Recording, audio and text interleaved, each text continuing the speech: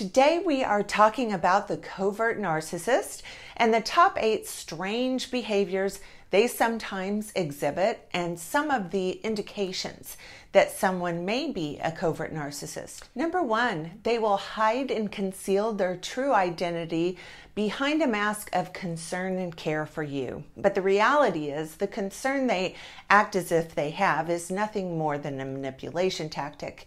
And if you are paying attention, um, something about this concern of theirs will not feel genuine. It will have a phony or a forced feel to it. Number two, you feel you have to play detective to figure out who they are or what they're up to. Covert narcissists are sneaky. However, we as empaths can pick up on so many things if we will listen to our gut instincts and intuition we will have the feeling that this person isn't telling us the entire story. So many times this will lead us into playing detective. Number three, they are terrible listeners, and I do mean terrible.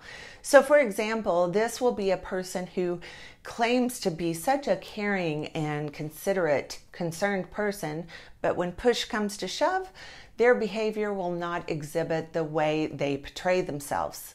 Number four, their words and actions do not align. This is probably the biggest indication of for all types of narcissists. I used to say to my ex all the time, say what you mean and mean what you say, because his words and actions never aligned. Number five, they make you feel guilty. Covert narcissists have an uncanny ability to make their targets feel feel guilty when the reality is they haven't done anything that we should feel guilty about. Number six, you feel like you are indebted to them if uh, they have, in theory, done something for you. There feels like there are strings attached to everything they do for us or give us in the form of a gift. Number seven, they have a secret addiction or a secret life. This is incredibly common with the covert narcissist. Number eight, they manipulate our helpful, caring nature. Empaths have a genuine desire to help others, and no one understands this more than the covert narcissist.